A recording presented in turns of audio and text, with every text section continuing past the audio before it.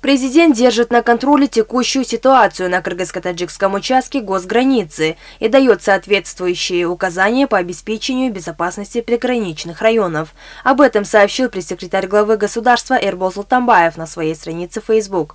По его словам, на постоянной основе поступает необходимая информация от всех задействованных структур. По поручению президента пристальное внимание уделяется вопросу оказания необходимой помощи пострадавшим, получившим ранения различной степени степени. Особо тяжелые переводятся в медучреждения Бишкека и Аша воздушным и наземным транспортом. Соответствующим госорганам поручено обеспечить надлежащие условия для жителей, временно эвакуированных в безопасные места пребывания. Периодически производятся бесконтрольные обстрелы со стороны таджикских военнослужащих.